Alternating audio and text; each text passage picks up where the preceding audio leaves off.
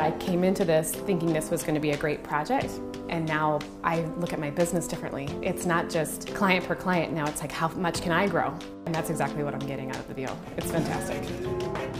My business has benefited from being in the ecosystem of the courses that we teach and uh, the people that I get to work with. Well, I've benefited by having the courage to finally launch this business that I've dreamt about, that I've wanted to do. And then I've personally benefited because I get to hang out with all these cool people.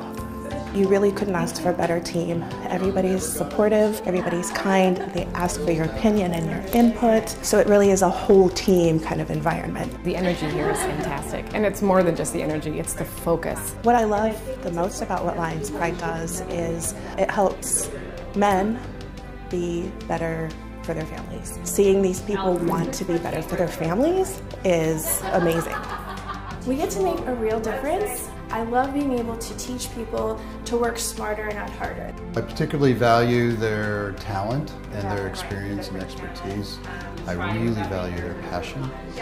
When I had the uh, original dream of building the Lions Pride, I knew that it definitely wasn't going to happen with me.